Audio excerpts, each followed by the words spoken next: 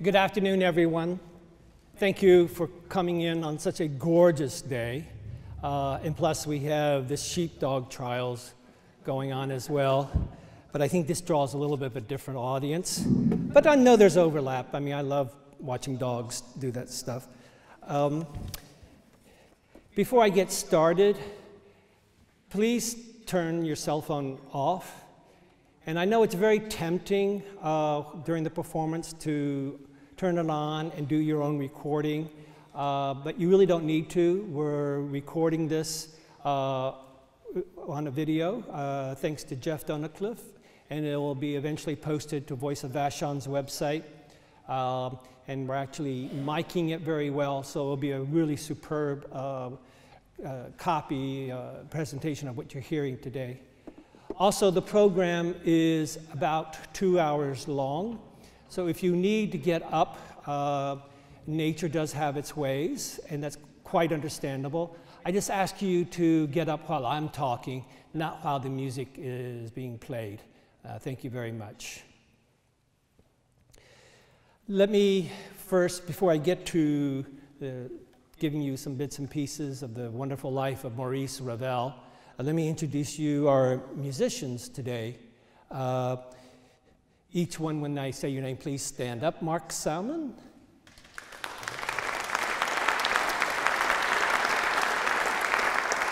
Mark is a familiar name already here at uh, Vashon Center for the Arts. He uh, participated and played in the Chopin lecture, the Liszt lecture, and then this past March, the Debussy lecture.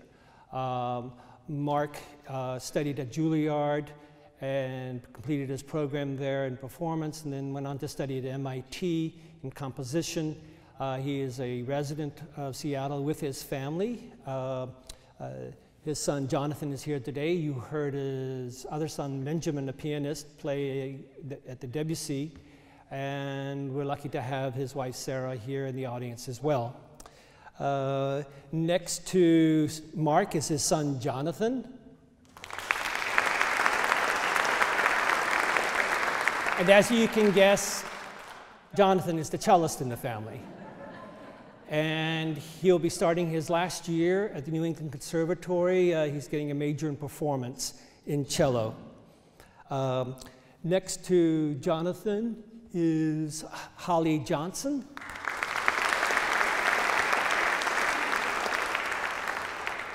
Holly lives here on Vashon with her husband Oy and her two children.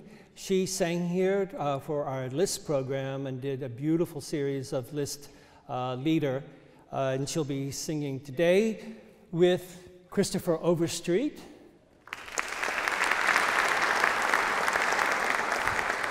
Christopher will be accompanying Holly on the three songs by Ravel. Christopher lives on Vashon with his family, uh, his wife Abby, and his son Coy. Uh, Christopher is a piano teacher on the island as well as a performer and also does experimental music and composition. So we're very, very glad to have all these four wonderful musicians here today. Uh, and I feel very lucky because Ravel's music is quite challenging. Um, you can say, though we're not going to play them today, uh, except for one, which is really up there, but some of his pieces are considered the most difficult piano pieces in the whole literature. Um, and so let's start about this wonderful composer, Maurice Ravel, born in 1875. Now, this is about 14 years later than when Debussy was born or when Gustav Mahler was born. So he's the next generation in the late 1800s of really great composers. His mother was Spanish Basque, his father was Swiss, was a mechanical engineer, actually had some patents to combustible engines.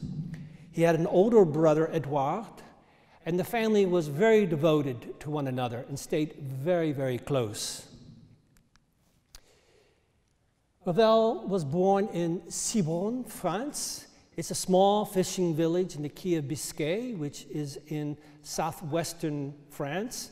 Uh, the Key of Biscay uh, and almost encircles the southwest border of France and the northwest border of uh, Spain, a very rich fishing grounds. And that's the house he was actually born in. And this is what the fishing village looks like today.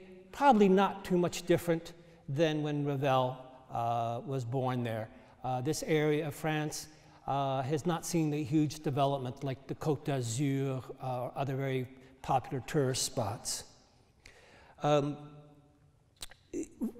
this area held a great, great uh, part of Ravel's heart, and whenever he needed to get away from the hustle bustle of Paris and concentrate on his work, he would retreat to southern France where some of his friends had homes. When Ravel is close to 10 years old. His family moves to Paris. They take up residence in the Montmartre area, which was not typical of a business family that, such as uh, Ravel's father was. Uh, this was the community of artists and musicians and dancers. The Moulin Rouge is in Montmartre. And what's interesting is that um, right across the street from the Ravel's apartment was a very famous cafe where, when he was growing up, he and his music friends would stand out on the balcony and look down across the street at a cafe that was very, very well known, the Chat Noir, um, which is where Satie and Debussy and uh, writers would hang out.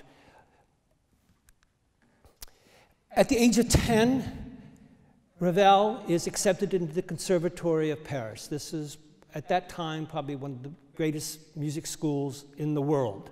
Um, and when you entered the conservatory, your education was completely paid for. Um, Debussy had entered just about 14 years earlier at the age of 10 as well. Initially, Ravel studied piano. He was going to be a concert pianist.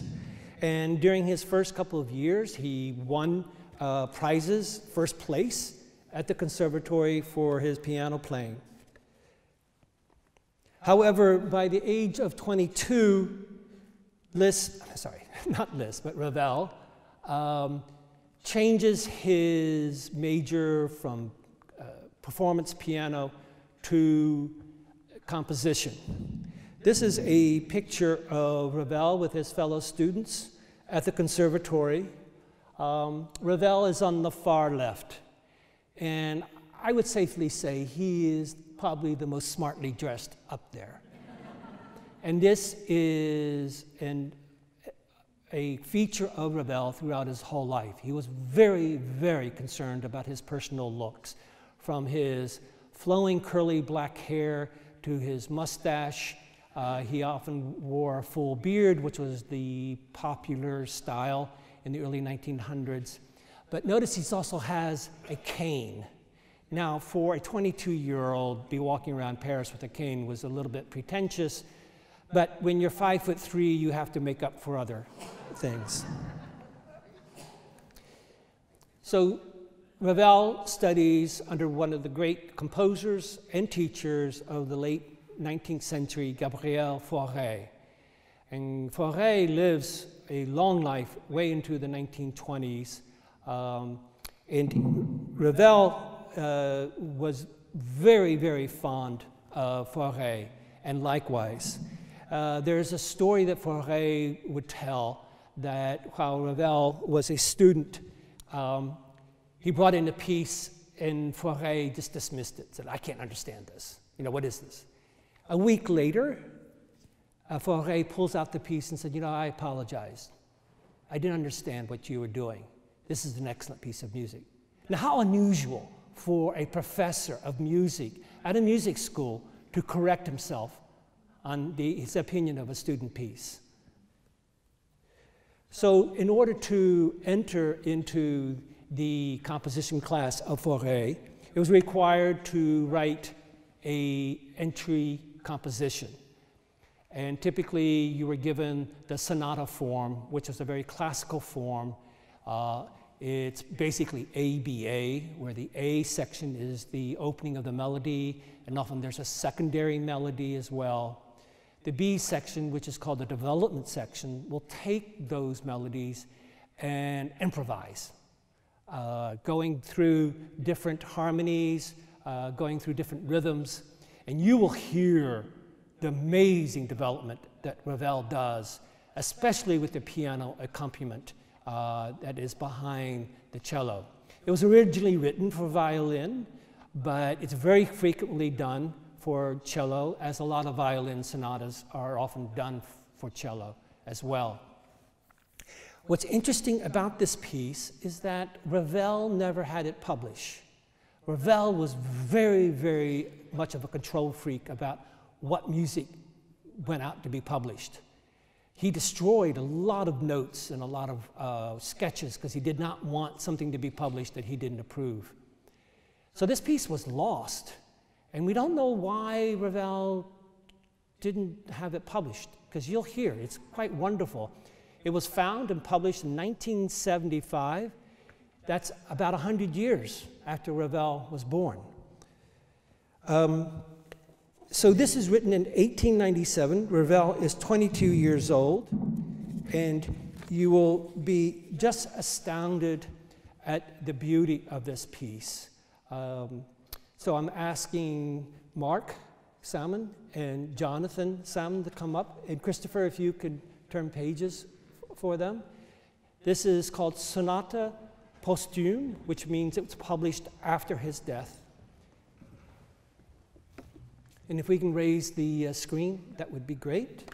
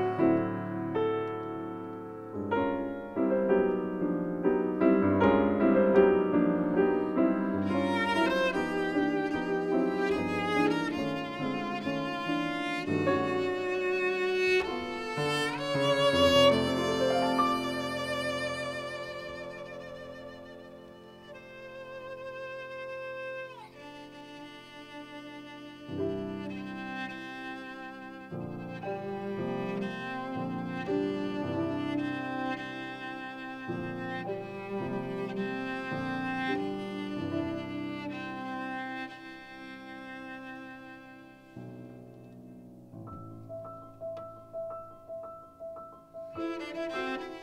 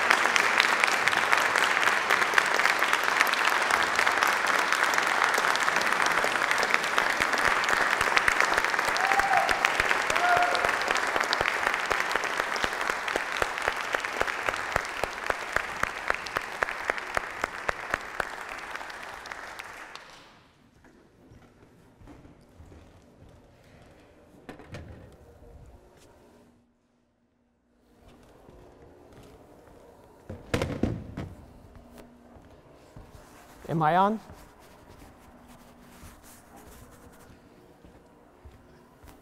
Can you hear me? Yes. No. Now? There we go, there we go. Okay, sorry about that. I'm not exactly the most tech savvy person in the world.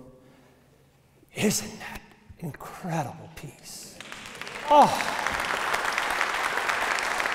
Thank you, Mark. Thank you, Jonathan. I think I can safely say that's the first time you ever heard that piece.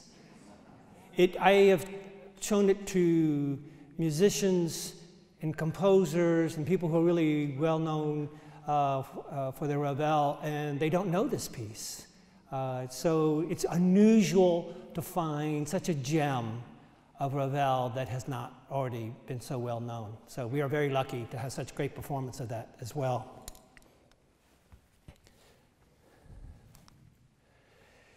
So we move to uh, another phase of Ravel's life. He is studying under Fauré, as I mentioned. During this time, he wrote uh, an overture to Scheherazade, very much influenced by the Rimsky-Korsakov uh, orchestral piece. And that, because he hadn't won any prizes, he was thrown out of the conservatory, so he just audited Fauré's class. Now, the prize Ravel was trying to win was the Prix de Rome, the prize of Rome, which if you were here for the Debussy lecture, I mentioned how Debussy won this at the age of 18.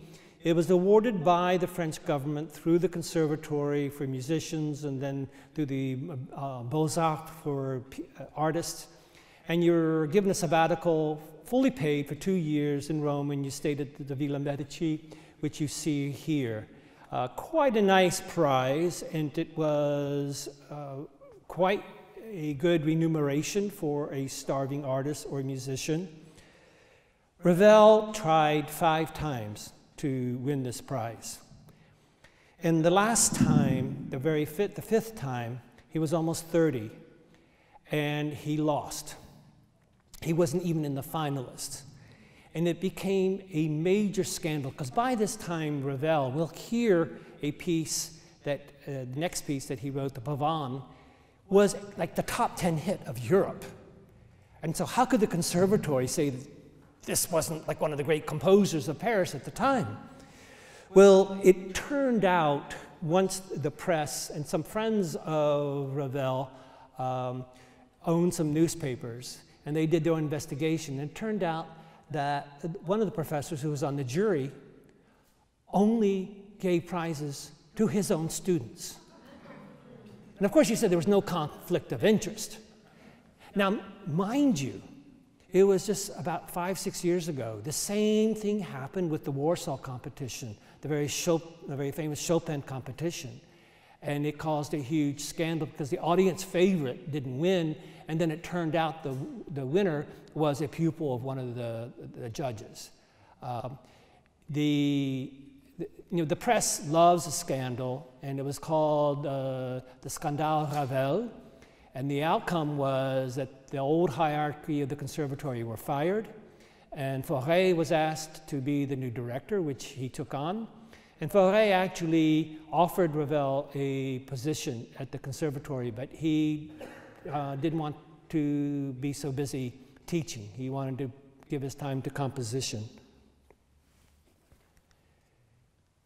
At this time in Paris, there are a number of very, very influential women um, who, at least two of them, inherited their great fortunes. Uh, the first one we will talk about tonight, and I mentioned her during the Debussy lecture because she uh, was also a great patron of Debussy. And this is Winnaretta Singer, the Princesse de Polignac. Now, Winnaretta was a well known lesbian who actually had her first marriage annulled. Uh, she actually stood on top of the armoire screaming for the police if he tried to touch her. Um, but she found a soulmate with the Prince de Polignac, a very old royal family, I'm sorry, noble family of uh, France. And he was openly gay, so it was a marriage convenience, or as the French say, a mariage blanc, a white marriage. She had the money, he had the title. And she bought this magnificent mansion in Paris and had one of the most uh, renowned salons in Paris. And she was an early supporter of Ravel. Uh, incidentally, um, continued her philanthropy even to social services. In the 1920s, after World War I, she and one of the heirs of the Vanderbilt fortune built the first public housing in Paris. And they built a hospital dedicated to the poor. Um, in the late 1920s, she worked out a, an agreement with the French government that her fortune would go into the uh, Fondation Polignac, the Polignac Foundation, which exists still today. It resides in her original home in Paris, and it is a major center for new music, for new musicians, and it continues her great work in support of the arts. So the next piece we are going to hear is Pavane pour un enfant défunte, which means a pavane, which was a Baroque style dance for a dead child. The title had nothing to do with the music, as Ravel would say many times. He just loved the sound of the words. and I think it has to do with all the different vowels you have there. Pavane pour un enfant défunte. Now, obviously, you're hearing it through an, an, English accent, but I hope to get as close to that as possible. Um, this became one of the greatest hits at the end of the 19th century. Uh, it was played everywhere. Ravel, within a few years of publishing the piano score, or orchestrated it. And when you hear the piano opening, when Ravel orchestrated it, instead of you know, a piano, he uses a French horn, which gives it even more of a sort of soulful sound. But it is definitely one of the more popular pieces Ravel ever wrote. And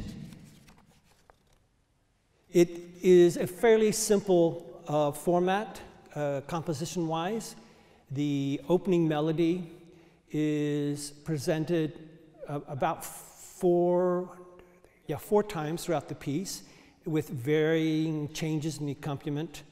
Um, the first time the melody is uh, performed, the B section or uh, middle theme is a beautiful, har- um, uh, um, I'm sorry, a minor harmony. And then there's a middle section that gets, you could almost call it development section. It, it travels through all these harmonic progressions. And then you have the final return to the melody, and the accompaniment gets even more surreal. Uh, so I'm asking Mark to come and play this. And uh,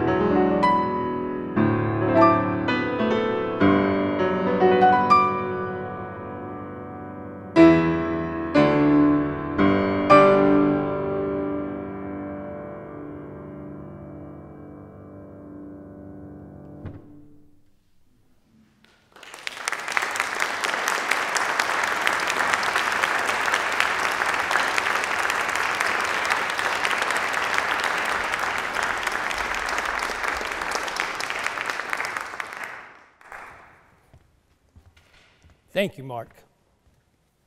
You see why that was one of the top 10 at the beginning of the last century. It's just a gorgeous, gorgeous piece. And of course, Ravel was one of the greatest orchestrators of the 20th century, so you can just imagine the beauty of it when it's uh, orchestrated uh, for a full orchestra.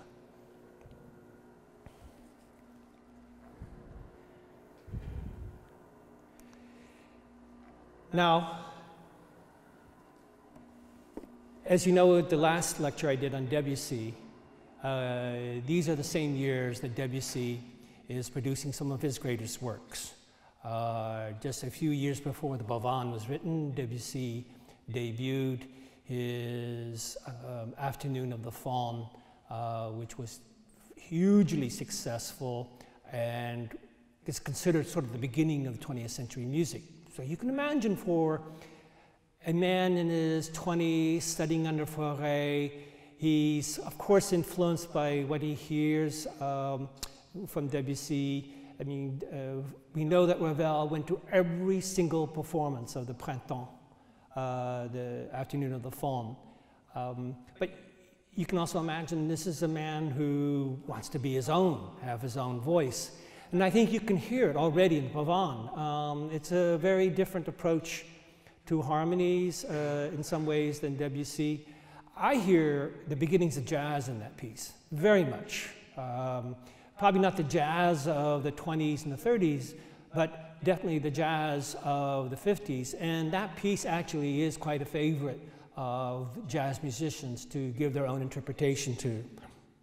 But because Ravel is becoming an, uh, a famous name in the music world, uh, the music critics want a fight.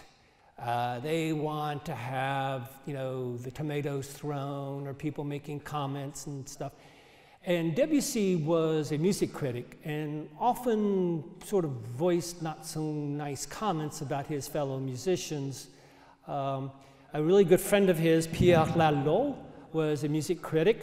Not that Lalo had any knowledge of music, but it didn't stop him from being a critic.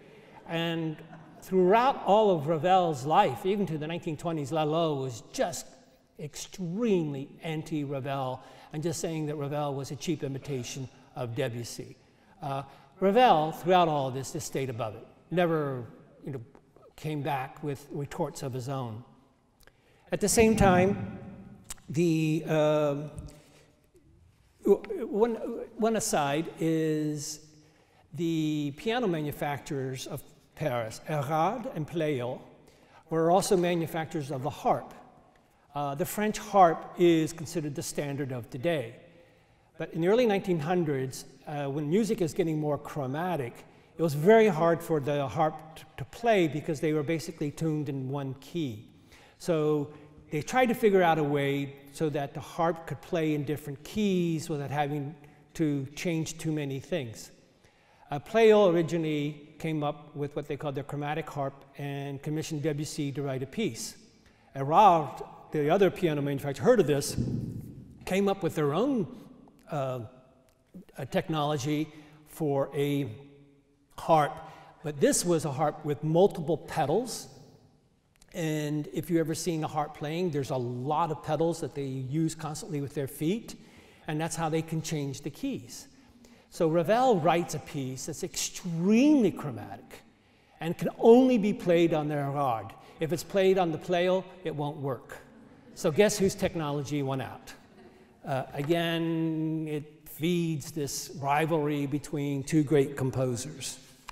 Actually, that piece of Ravel for harp, I definitely suggest you go hear it. It's called the um, Introduction and Allegro for harp and chamber group. And it is a quite a beautiful, beautiful piece. The person to your right is Misha Sert. Now, this is a photograph of her in the 1920s on the Rivoli in Venice. Uh, she is uh, dressed in Chanel. She was a very early supporter of Chanel, and they became great friends. Um, but Misha Sert, as husband, was one of the ones who published the Scandale Ravel, the articles and reviews opening up how horrible it was that Ravel didn't win the Prix de uh, Rome. And as a consolation, they took him on a long uh, six week tour of the Rhine on their uh, private boat. Uh, Misha had married very well at that time. And the outcome was that Ravel was so impressed with the monogram on their sails of their boat that he develops his own cartouche or monogram, which is then continually used in publications of his music. And the reason I point out that is that Ravel shows a sense of style in everything he does.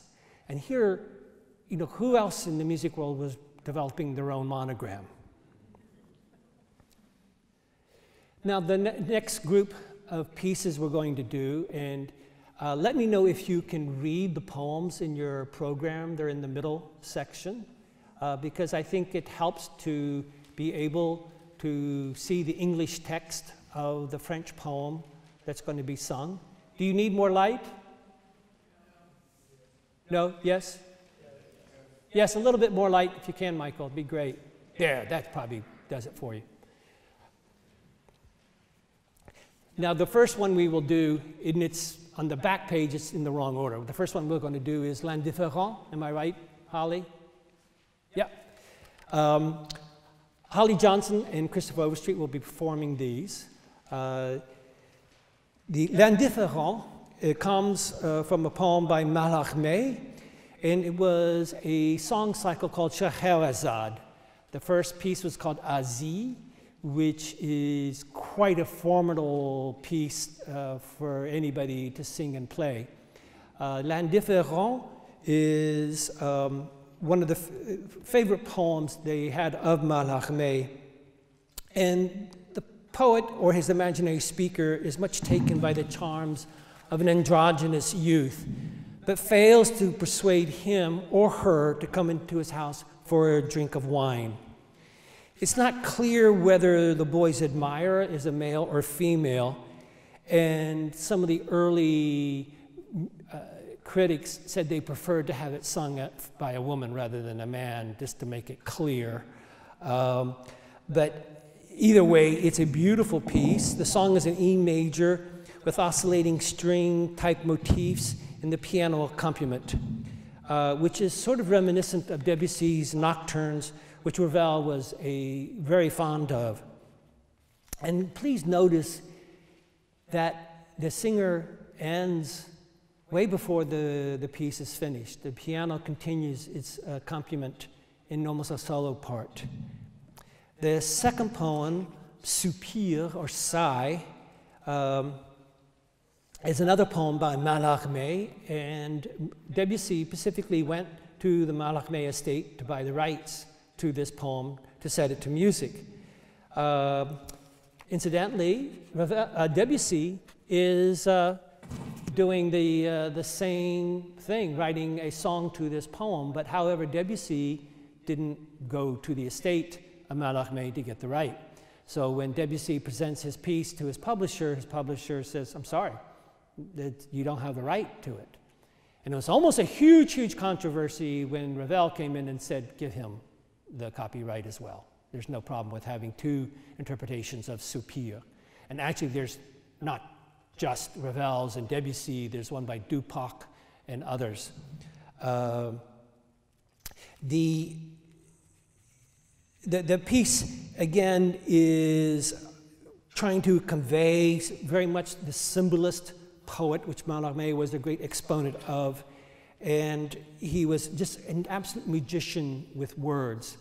Um, so the last song uh, that they will be performing uh, today is called La Habanera, uh, which was a popular dance that supposedly came from Havana, Cuba but it's definitely this whole Spanish, Latin music influence that is very big in Paris at the time. And there's no text for you to read because the singer just sings in ah and las. Uh, I think you'll find it extremely pleasant uh, to listen to. So, Christopher and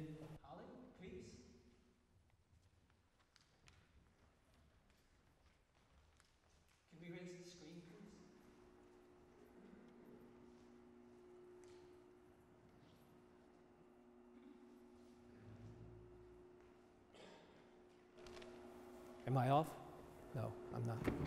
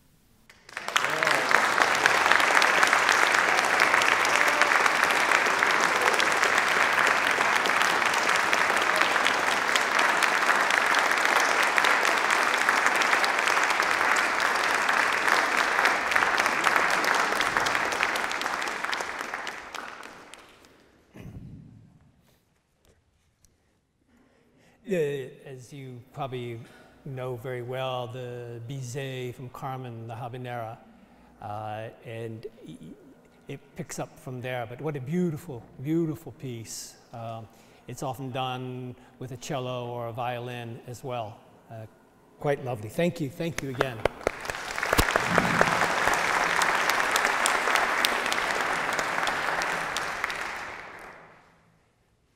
So there's a group of artists, musicians, uh, uh, writers, uh, set designers who become really close friends in the early 1900s. And uh, one day when they're walking back from a late night having fun, uh, somebody sees them and calls them ah, les apaches, which was the French slang for hooligan. Um, and they liked that, so they named themselves les apaches. Uh, it was quite a remarkable group, included uh, actually a few women, which was unusual at that time. Um, on your far left in the white hat is De Falla, the very famous Spanish composer, uh, about the same age as Ravel. And then uh, at the far right is Ravel, uh, quite a looker. You can see, very handsome man. And then in the middle is Igor Stravinsky, and Stravinsky and Ravel remained close friends throughout his life. Um, Stravinsky actually said that um, when the rehearsing the Rite of Spring, uh, any of you who are musicians and have tried to play this piece realize it is a tour de force. The uh, meter changes like from 4-4 to 7 8 to then 5 4. It was a nightmare for the orchestra to stay together. And Stravinsky had a very tough time with the dancers as well as with the orchestra. At every single rehearsal and every single performance, Ravel was there. And Stravinsky said to most of his friends that the only person who understood this piece was Ravel. Uh, so they had great respect for one another. This is some more members of Les Apaches. The man at the far left is Ricardo Viñes. And Viñes uh, was the pianist who debuted uh, many of the famous pieces of Debussy and Ravel for solo piano. Uh, you, any of you who came and heard the February 2nd concert uh, with, with Slava Gryaznov performing the Ravel Gaspard de la Nuit uh, know what a tour de force that is. And what's interesting is Viñes didn't really have a trainer to help him to learn this piece. And I tell you, you want someone who's come across this piece before, knows the fingering. Uh, he and Ravel remained lifelong friends, and he's very much of a person we go back to to get uh, some historical records of what Ravel was thinking and doing at the time. Um, Ravel is on the, the far right, and as you see, he's no longer has his big beard and is wearing his hair shorter as well. um, the great, great orchestral piece that puts Ravel at the same rank as Debussy as an orchestrator uh, happens in 1912. In 1909, Diaghilev the impresario of the Ballet Russe, uh, commissions Ravel to write uh, a orchestral piece for this sort of Greek myth poem about two uh, young shepherd and a shepherdess who fall in love and they dance, and it's this bucolic kind of romantic piece. It supposedly is a lot more erotic than Ravel was prepared to write. It proved to be a very difficult piece for him to finally finish. But he finishes the piece with full orchestra and a full chorus. And if you have never heard this piece, do treat yourself. It is just, just sublime. A beautiful piece.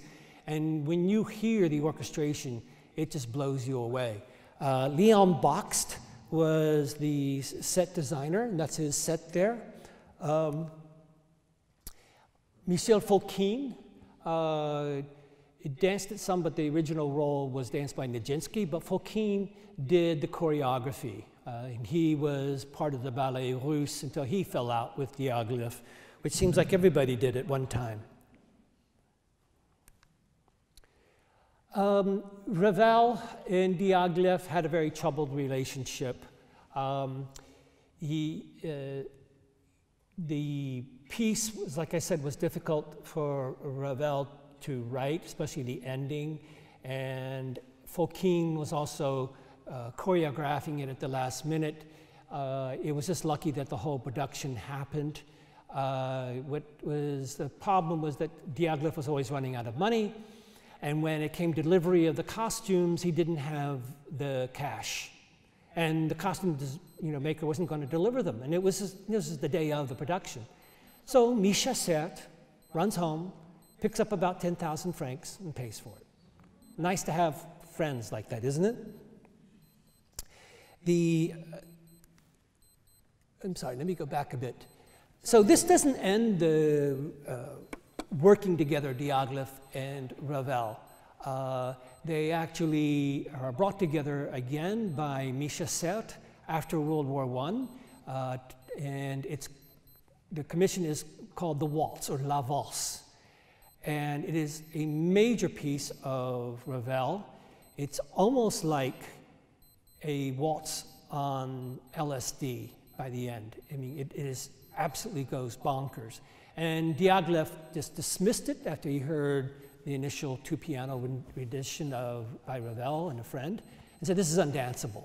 Well, within two years later, Balanchine, who had started under uh, Diaghilev, choreographed, choreographed the piece, and it was a big hit.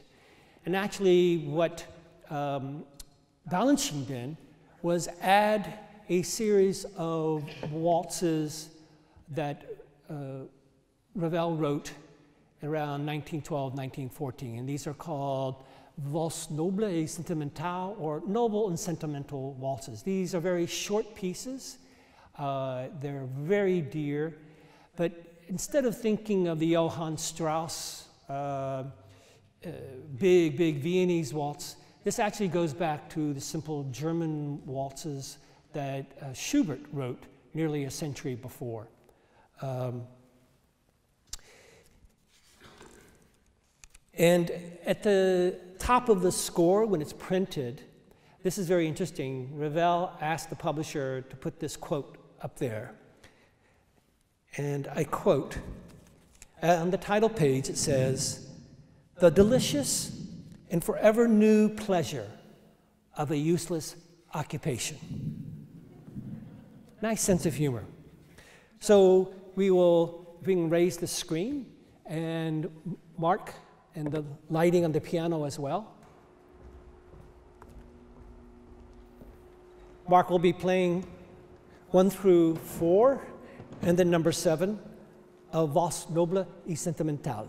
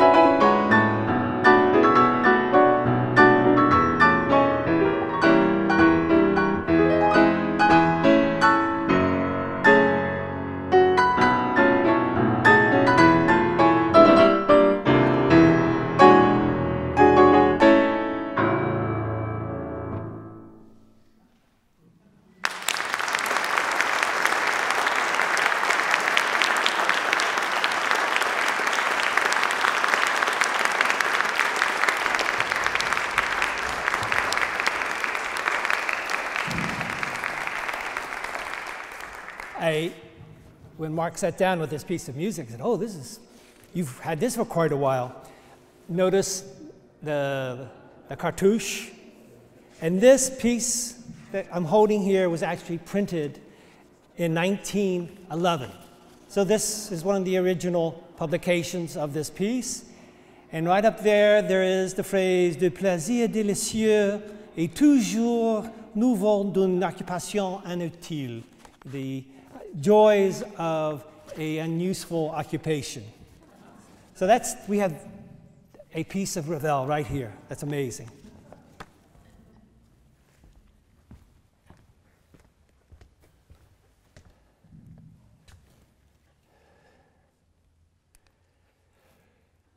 So, the great tragedy of World War I comes to Europe and the world. And Ravel's uh, over 40, well, nearing 40, and goes into 40 when the war is going on. And he tries to enlist and tries to enlist. Now, he's five foot three, he's not exactly the most robust person. And they told him, no way, no way. You know, we're not, you'll be a, a hindrance to our efforts. So Ravel keeps on trying, keeps on trying. Finally, he goes to an old friend, and we'll hear about her later, uh, Ida Rubinstein, and ask her, uh, I'm sorry, it's not Ida, it is the Princess de Polignac, Isabella I mean, uh, uh, Singer. Uh, with her money, they equip a, a, truck with all the latest medical equipment, uh, such as a mobile x ray. Now, this is quite new because it just had been discovered within the past a decade or two, the, uh, the X-ray. Uh, and so all at once, Ravel is able to drive this truck and he goes to the front lines. But as you see, even going off to war, Ravel had to have style. Uh, I believe that's raccoon, but it could be possum. I'm not a fur expert, but it definitely was a look. And I love the hat on top. But uh, you have to, when you start studying the artistic movement of the 1900s of Paris, when the war came, uh, there were some big, big divides. Uh, many of the artists from Spain, from Italy, uh, especially the French, volunteered as Ravel did. One particular famous artist did not and was forever sort of held aback by the rest of the group, and that was Picasso. Picasso just stayed out of the whole war uh, while living in Paris.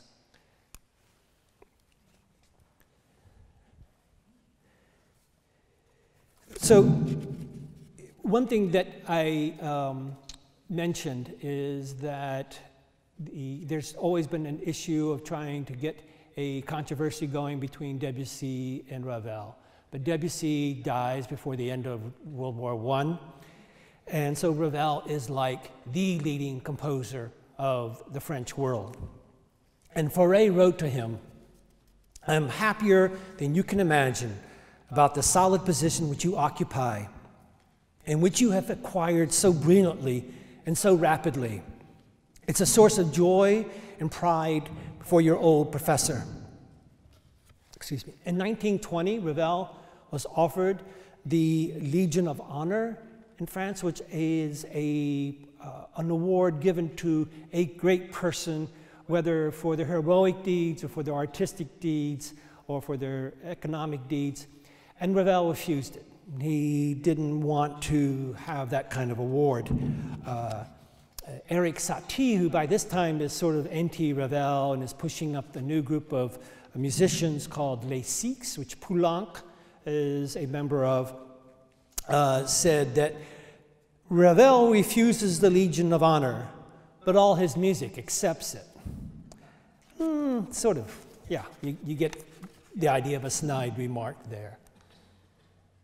So, as I said, Misha Sert comes back into his life with Diaghilev and La Valse. And it was interesting when Mark was just playing La Valse, there are definitely moments that Ravel later picks up on in this piece written in the 1920s.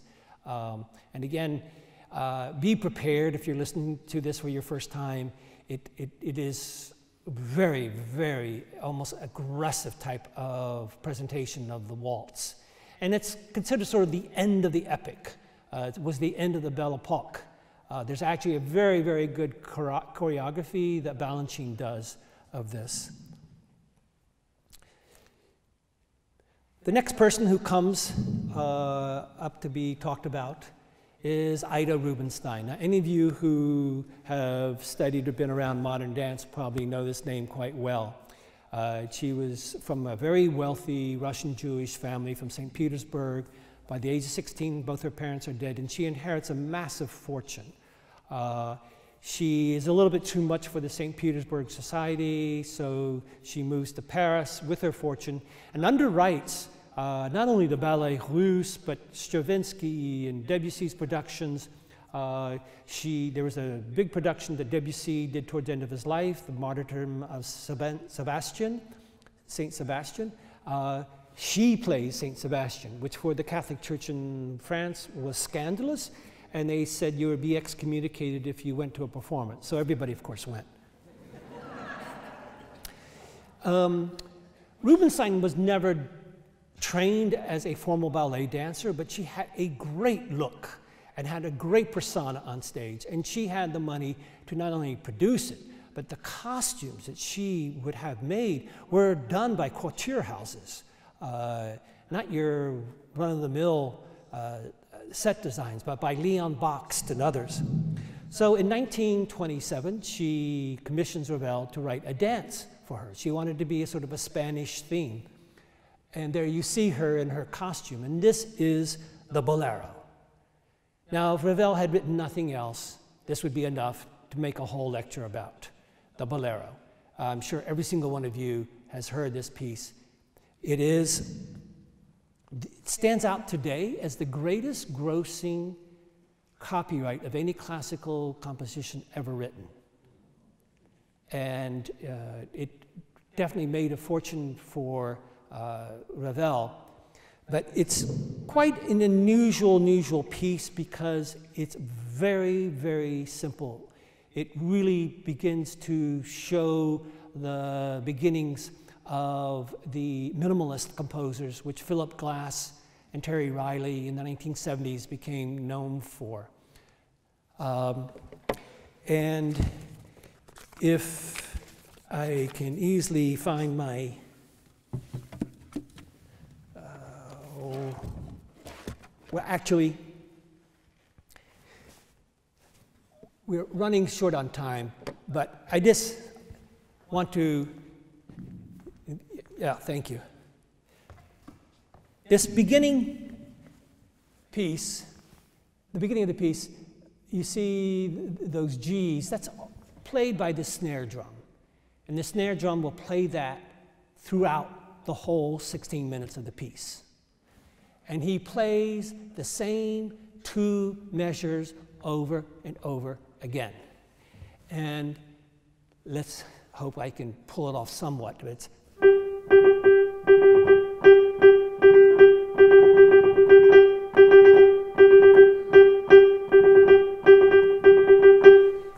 you can imagine keeping your fingers or your uh, batons flexible enough to do that throughout the whole piece.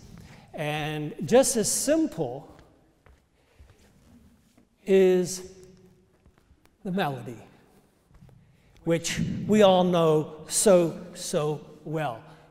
But as you can see, the melody is rarely coming in on the downbeat. And so you've got this uh, rhythm in the snare drum, and then you just pray to God, everybody's counting in the orchestra to come in on time. And it's,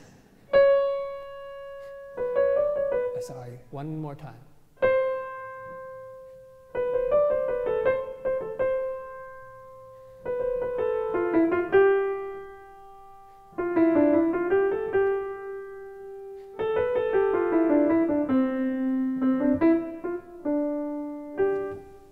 How simple.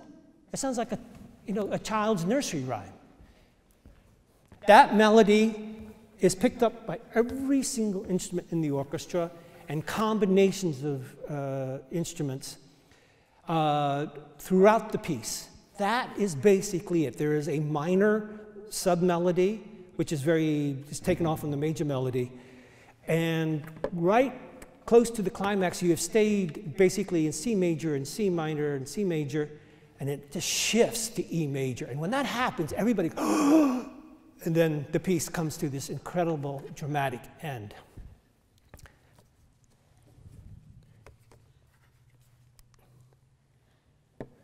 So, at the height of his career, 1928, Ravel goes to the US for a grand tour. And I say grand, I mean, he went everywhere New York, Chicago, Seattle, LA.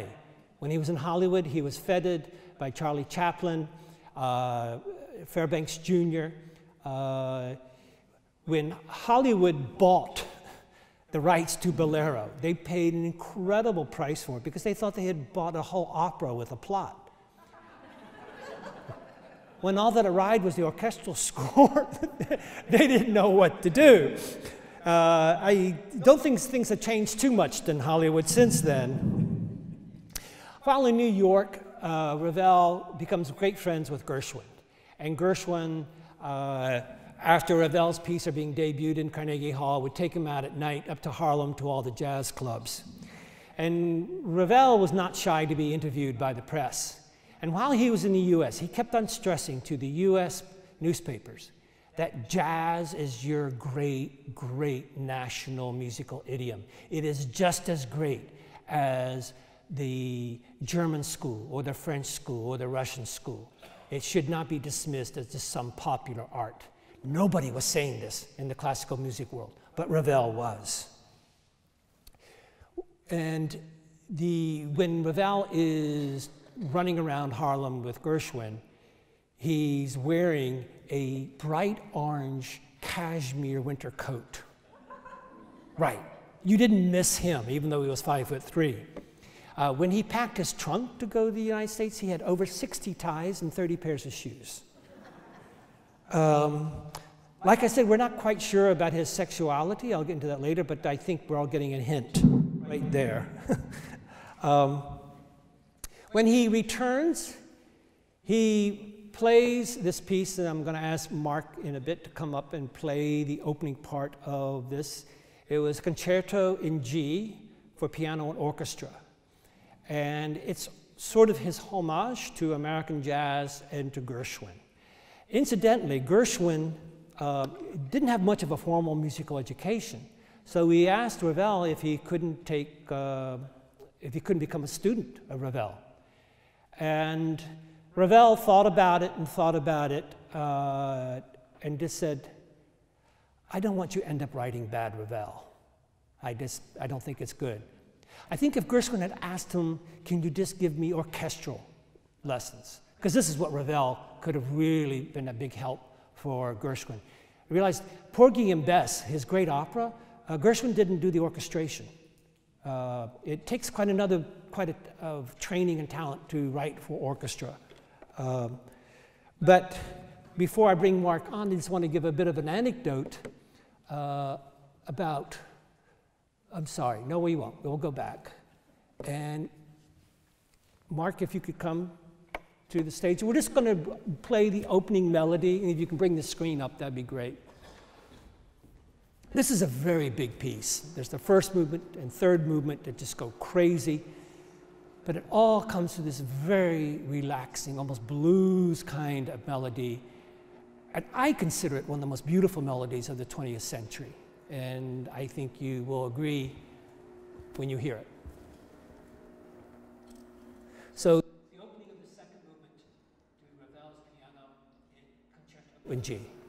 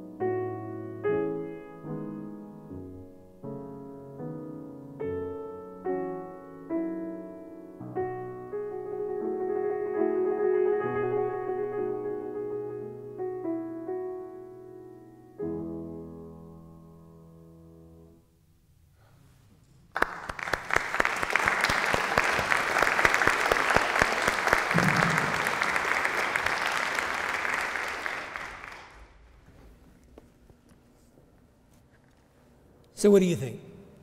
Is that not a beautiful, beautiful melody? And he develops it and develops it into this section where the piano is just cascading down all these chromatic uh, works with the, the melody and the orchestra. It's just sublime, sublime.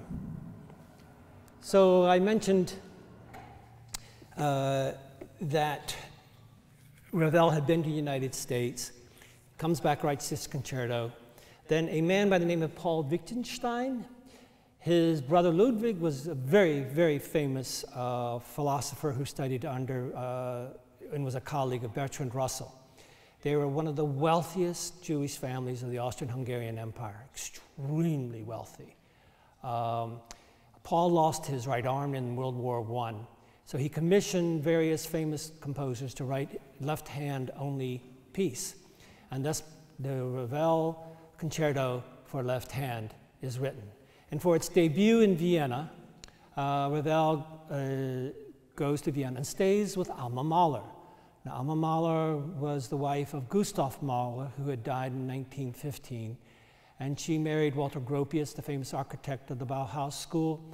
And then she marries Franz Werfel. She sort of goes back and forth between the two for most of her life. Uh, but at this time, she's with Franz Werfel, and she invites Ravel to stay with her.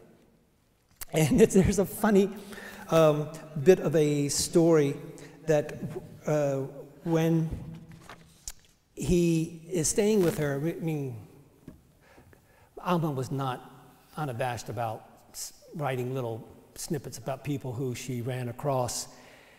And she wrote to a friend saying, The Ravel's attire for breakfast, he wore a bright red embroidered satin smoking jacket, a white cravat, already made up and powdered face, and this just for breakfast.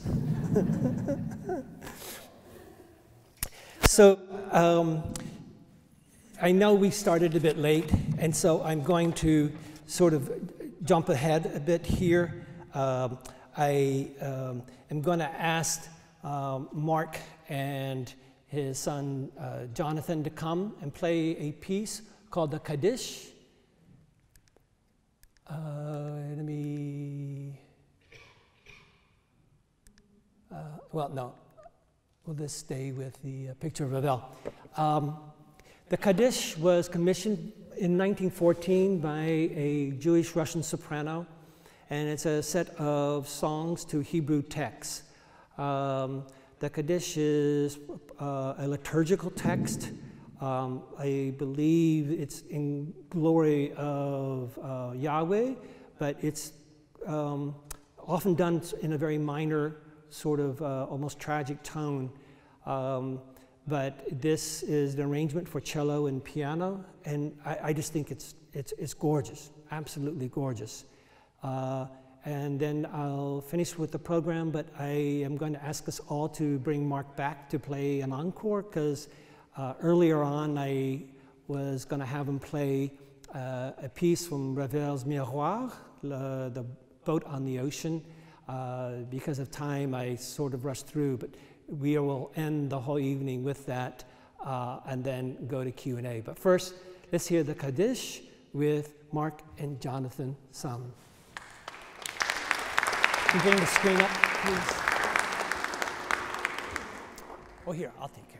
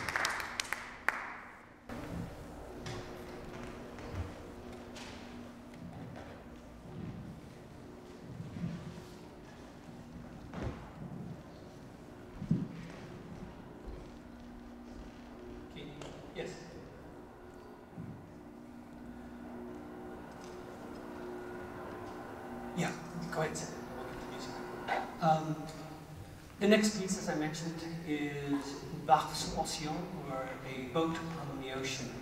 And it's from a set of uh, pieces called the Miroir, or the Mirrors, which uh, Ravel dedicates each piece to um, certain members of Les Apaches. Um, if I remember correctly, this is dedicated to uh, Igor Stravinsky. Um, it is quite an impressionist piece. It's also a tour de force for the pianist. Um, you get the sense of ocean waves hitting up against a boat, and it starts off with very relaxing times that you just pulled out of the, the shore and you're in a beautiful sunset of, but then a storm starts to brew up, and the waves get higher, and this ship is being rocked around, it almost gets to the point where you're going to be thrown over. And then finally, finally, you can see the shoreline, and the piece comes back to this beautiful, relaxing uh, melody. It is one of my favorites, and I'm dedicating this piece to a dear friend, Steve Sandman, who we lost a couple weeks ago. He's been here at every lecture, and I'm sure he's here tonight. So thank you, and we'll hear the OC.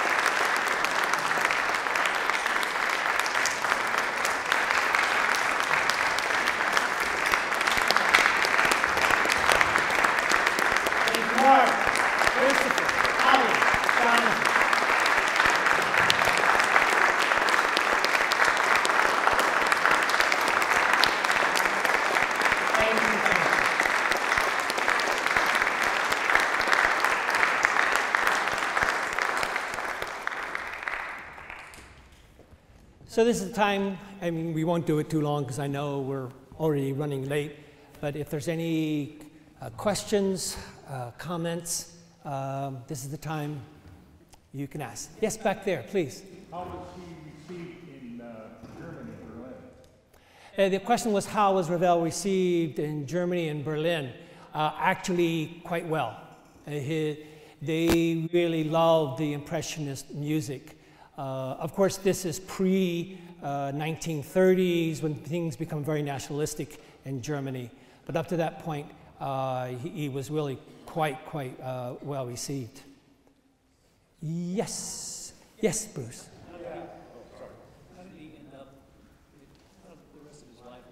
Uh, it's, the question was, how does the rest of his life end up? Rest of his life end up?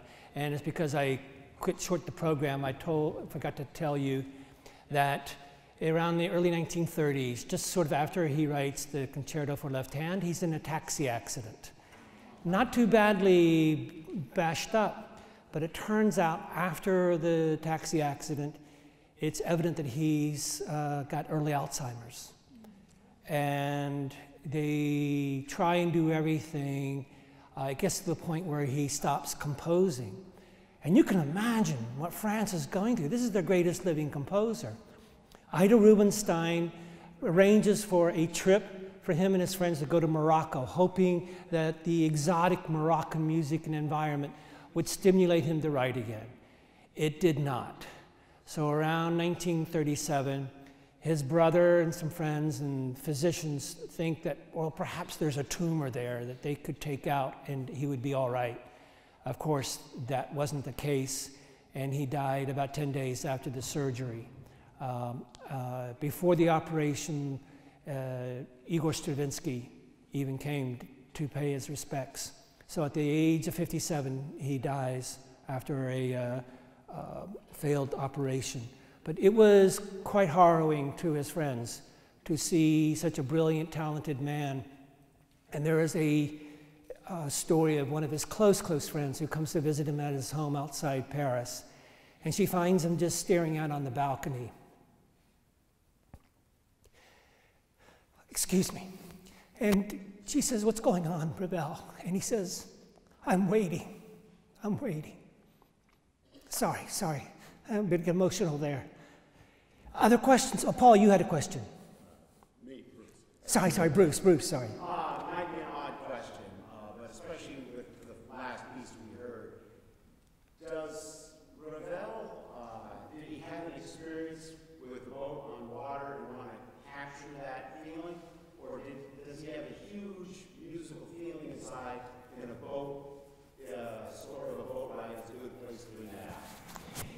He maybe had been on a yacht in the Rhine, but that's not exactly going out onto the ocean. No, he never was really around.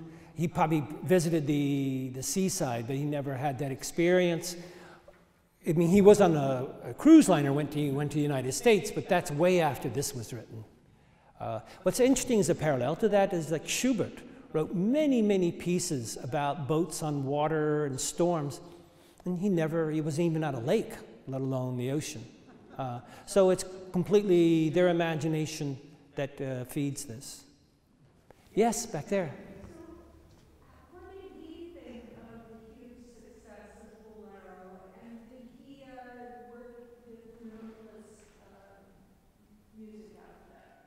Did he work with what, sorry?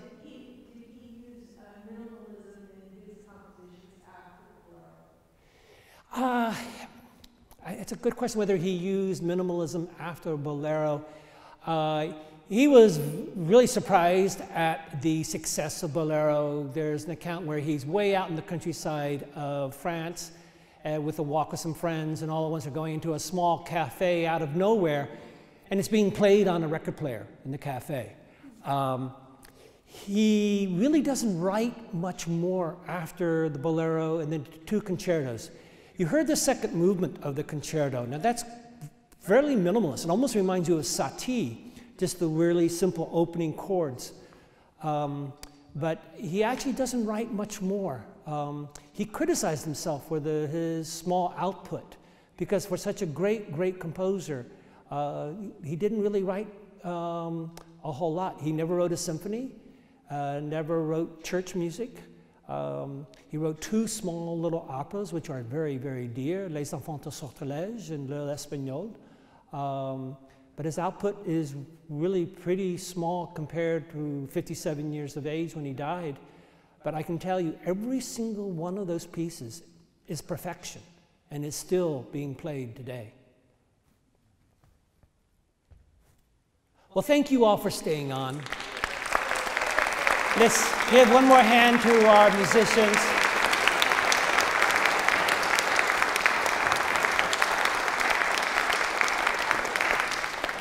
Thank you all so much. Oh, and we are bringing the Salman family back for a family concert in early August. So definitely put that on your agenda. Thank you.